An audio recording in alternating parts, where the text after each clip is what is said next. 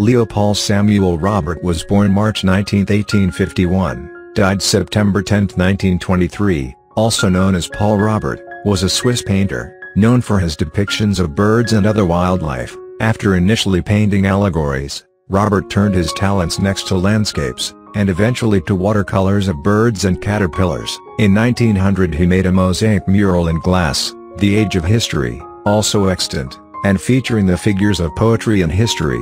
For the facade of the Bern Historical Museum, Robert was also ordained as a minister in the Protestant tradition,